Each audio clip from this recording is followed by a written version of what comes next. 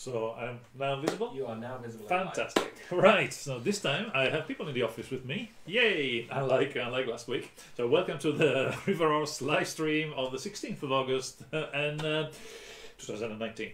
And um, so without much further ado, I'll uh, supported by the team over there. So finally, not on my own. So the technical side of this of this will be much better than last week's. Seamless. Seamless, absolutely. Um, well, already the cameras are. There's two cameras instead of one, so it must be better. I'll um, I'll go through the uh, to the newsletter for the newsletter first, and of course the newsletter starts with uh, Ogres and oubliettes. So um, this has just come up, uh, arrived here. We have the first actual product to, to to unbox with you, and to we had a look, and it's fantastic. It's very exciting, obviously. I'll say so myself, but you know, as a geek, I cannot help being excited about this kind of stuff. So, uh, so Ogres and oubliettes, and I will unbox it in a second after I've gone through the the rest of the newsletter. Uh, what's after that? Ooh, yes, there's an interview with Anka Senept. Uh, Anka wrote a lot of, uh, sorry, not wrote, illustrated a lot of the uh, of the our uh, My Little Pony Tails of Equestria books. A lot of the creatures in there uh, have been drawn by her, and uh, the interview uh, is a cheerful uh, talk about roleplay games and uh, her, you know, because she's very much into her roleplay games. And so, if you want to have a have a view of what she likes and the way she goes about RPGs and artwork, uh, it's a it's a great listen. I think we had some very very funny comments about uh, her hair, which is very very funny. So go and share it. It's quite um, quite entertaining. And after that, speaking of My Little Pony, Tails a Equestria, we have our creature feature.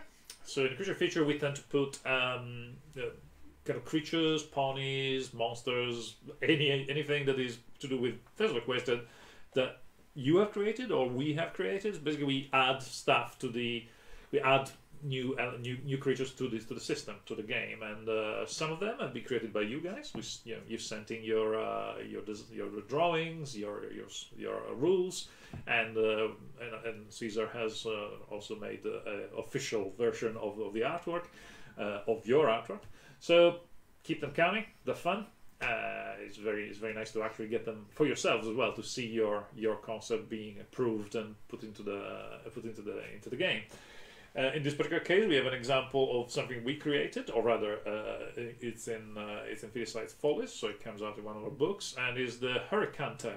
The Hurricanter uh, is a bit like a Windigo. It's a uh, kind of a creature of the sky that feeds. This one in particular feeds on uh, fear, panic, and creates storms. So uh, you will find the stats and the gaming stats there in, the picture. And after that, the next article is the new reveal for the Labyrinth card game. So this time, uh, what we reveal is the face card and the ace of the suit of one of the minor suits, and this is the suit of clocks. There's something very cute about the suit of clocks uh, is that uh, every card has the, the, the, the shorthand of the clock is uh, basically follows the number of the card. So on card on the ace is on the one, on the on number on card number two, on the two of clocks would be on the two, on the three of clocks would be the three. So if you flick through the, the cards, it looks like the hand is moving as well. It's quite cool. So and the artwork, of course, as usual, it's fantastic. My favorite probably is that dancing uh, Jareth. It's very, I think, uh, captures the movement of the of the magic dance. I think very cool. So it would be in the in the Facebook gallery where you can see the the cards that we for the from the card game that we have revealed until now. Every week we reveal some more, some more, like three cards of or or a set of uh, face cards, like like in this case. So go on Facebook, have a look. Lovely cards. Okay, what's next? After that is the comic by Caesar. Um, which uh, obviously the uh, the Ogres and Oubliettes is a collection of uh, standees. So basically cardboard stand-ups with with the pays uh, that represent creatures, monsters, and uh, other characters in, in My Little Pony in, in a roleplay setting. So this this game is kind of the opposite of last week when I had no staff. Maybe this time the staff had no me. Maybe they were dealing with a cardboard counter all day and they didn't know. Clearly, clearly, Boy and George his eyesight, his eyesight must be a little short because he can't quite tell. Okay, what's next? Oh, after that is the something going back to quite a distant past, where uh, Shuuro, one of our, I'm sure, the first game River Horse ever made, and Turanga, its expansion, uh, and there's uh, some people in Spain that actually decided to run a tournament of it and uh, have uh, uh, like a, a ranking, etc. And it's you know it's quite interesting, and people are still playing those good oldies. It's nice to see. And finally, yeah, we get into the pre-order section, the, the section that announces this live stream. So quite a lot of pre-orders there. Pacific Rim, Jim Henson's of the Labyrinth, the adventure game. Yeah, so we're pre-ordering the, the adventure game, and Oubliettes, Hunger Games, and the card game, and a lot of Pacific Rim stuff. Lots of pre-orders. Cool. So that was the newsletter. Sorted. And now the main attraction. the main attraction, we are going to have a look inside the box of Ogres and Oubliettes. So if we switch to the small camera, seamlessly. we seamlessly switch to the show, the close camera. So that's the box, which is the same size as uh, as uh, sorry as a Curse of Statuette or the starter set. So it's a standard uh, My Little Pony box.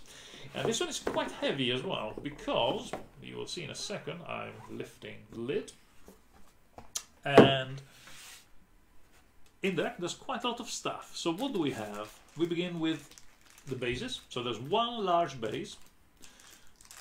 One large base for large cardboard cutouts large monsters. Is this distance okay? Do you want me closer Yeah, to the camera? Yeah, that's that's fine. yeah. So one large base and 10 smaller bases for smaller creatures normal size creatures. I mean i suppose you can also use two of these for larger standouts if you want. They they become like feet so a bunch of these bases, 10 and 1. What's in there next? Oh, then you have the leaflet, the actual adventure, Ogres and Oubliettes. So this features the, the main six in uh, role play. So we have Applejack as a as a I would say a fighter. We have Rainbow Dash as a rogue. Some of them are from the show because obviously there's a, an Ogres and Oubliettes episode, but also some of them we we managed to to add to complete the set. So Spike as a wizard, Twilight Sparkle as a wizard, or sorcerer perhaps. Fluttershy had to be a druid, right? So there you go. Uh, Rarity, I would think, looks like a paladin to me. So I would think is. yes, or maybe a warlock. Hmm, Interesting. And then we have, of course, Pinkie Pie as a bard, because, of course, she likes her music. And uh, bestiary of the creatures in this adventure the, the squizzards and these uh, skeletal ponies. So the uh, the adventure is actually quite an interesting um, kind of adventure within the adventure because uh, it's basically uh, Discord uh, basically asking the, the, the pony, your normal pony characters, to play a game with him. So basically to role play. So it's a role play within a role play, and uh, so now your characters your pony characters will have to create characters for for Ogres and Oubliettes and play a game of Ogres and Oubliettes with this card. As you know, this card obviously will then make sure that they actually experience their the RPG in a very very realistic term, so they it will kind of bring them into the world of Ogres and Oubliettes. So face the you face the Squizzard with your uh, with your pony characters characters, which is quite a, a mind trip. There you go. Oh, I can actually see the shot cam now. Even more seamless. So I can actually make sure that the reflection of the, of the light is not... Uh, basically, if I do that, you don't see anything. You see a big reflection. If I do that, much better, right? Great idea. See what I'm doing. All right, what else is in the box? Now, the next thing in the box is a beautiful and useful for a GM, for a pony master, a map of Equestria. Nice always useful for roleplay. Love maps. And then we get to the forte of the box, which actually, let's put it this way, there you go.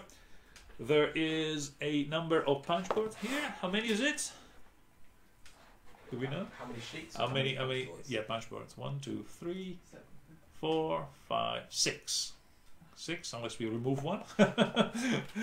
six punch boards, and how many, how many creatures and characters? Over a hundred. over a hundred. So quite a lot of stuff. So thi- this first one here, the green one, seems to be monsters of nature. I mean, it ranges from let's see what I can do from the Manticore from the very first episode. So basically, it's a mix of creatures from the series, from our books, So you recognize all of these characters from our books or from the series. Flying creatures have this little stand. I'll demonstrate in a second how it fits within the uh, within the bases. Uh, an interesting feature is that the oops that the uh, they have a code on the each each uh, each character has a little code where the base fits, so it's actually hidden then, but it tells you where you find it. So BOE page 23, Bestiary of Equestria page 23, so you can find the stats of the creature. As you have seen, things pop out of the of the punch board easily, which is a very important thing because you don't want to rip them. You don't want to to, to, to struggle to push them out, and so you just very easily they come out nice and neat. I mean, the, the quality of the, the punch board is excellent, so I'm very happy with the suppliers here. They, they did a great job. Well done, Wally. Very good, very good. Um, so, again, first one here. I'll demonstrate a base fit, for example, for a flying creature. So there you go. See, very easy fit within the that. And if I can do it on the, I'm not sure what you can see, but there you are on the table. Uh, while a smaller creature, for example, a yak, goes into its into its base there, and it's all very smooth and neat, and uh, voila the arranging size quite considerably. I will put uh, one of the largest ones. I'll put the largest one here. For you once uh, once we're done. Anyway, so back they go. I mean, these will be great. Be great for obviously setting up your scenes during during the the, the RPG adventure, but also uh, I'm sure from my experience of playing Tails of Equestria uh, with young ones, uh, they they spend a lot of time playing around with these things, and uh, it's very entertaining to watch. What's the next? The next punch board. Ooh, speaking of the largest punch board, there we go, the larger creature. Out comes the Dragon Lord. Here it is, and it is massive. Right, out he comes. Da, da, da. This is actually oh, and I punched out a small token because there's not only creature, there's also tokens featuring pieces of equipment. In this case, an arrow, but there's a lot of actually um, quite. Um, very typical RPG things, weapons and uh, tools, and also some very Equestria other things like ice creams, cupcakes, uh, potions. There's a lot of cool stuff. So, voila, the largest roar, I'd say. Uh, so we have Lord Tyrak, the Point of Shadows. Let me show you some more dragons. Point of Shadows, Lord Tyrak, dragons, selection of dragons there, the Phoenix. There you go. And lots and lots of tokens to fill the space in between the, the main main standees. What's the next one? Oh, this is the ghostly the ghostly uh, sheet. So you have a lot of monsters, kind of spooky monsters, ranging in size from the Ursa Major whoop, to uh, I mean there's there's Nightmare Moon. There's a lot of fiery stuff and uh, or some minor. So yes, lots and lots of ghostly monsters. And this one is probably the one that we'll see most use, I would say. Ponies, pony characters. Famous pony characters, Princess Luna, Princess Celestia, but also the main six in their adventuring gear. And uh, our three characters, so we have Frilly Filly, Strong Oak, uh, and where is she? Where is she? I see her, I see her. I'm sure she must be here. Two. Aha. Yeah, Thunder. Firebrand is there. Top left corner, thank you. I found Firebrand as well, just next to Princess Luna. Okay, so I think again the Diamond Dogs are here, Flumes are here, yeah, there's a lot of King Sombra's there. So there's a lot of ponies, and these probably the ones. These are probably the ones that will be used the most. What's next? More traditional monsters, water and air, from the water and from the air. Giant crabs, rocks, of different time, moray eels, hippogriffs in both their uh, sea pony version and their uh, hippogriffs, griffins. Lots of different creatures there for you. Parasprites, sharks.